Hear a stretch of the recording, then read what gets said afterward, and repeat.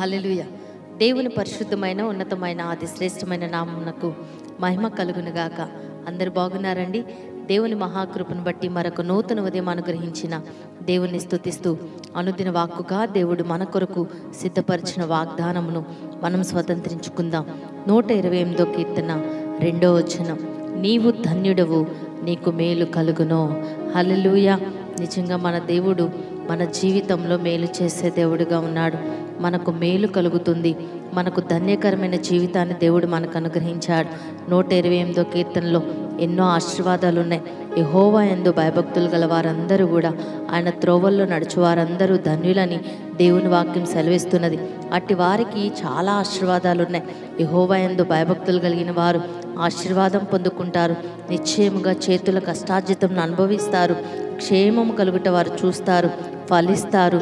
నిజంగా వారి జీవితంలో ఎంతో సమాధానమును ఎంతో సంతోషమును అనుభవిస్తారు. కనుక నూట ఇరవై ఎనిమిదో కీర్తనలో ఉన్న ఆశీర్వాదాలన్నీ కూడా మనమందరం అనుభవించదుము కాక కనుక ధన్యకరమైన జీవితమును మేలుకరమైన జీవితమును దేవుడు మన కొరకు సిద్ధపరిచారు. కనుక ఎహోవా తమకు దేవుడుగా గల జనులు ధన్యులని దేవుని వాక్యం సెలవిస్తున్నది. కనుక మీరు దేవుణ్ణి నమ్ముకుంటే మీకు ధన్యకరమైన జీవితమును దేవుడు మీకు అనుగ్రహిస్తారు. దేవుని ఎందు భయభక్తులు కలిగి మీరు జీవిస్తే మీకు ఆశీర్వాదకరమైన జీవితాన్ని దేవుడు అనుగ్రహిస్తారు.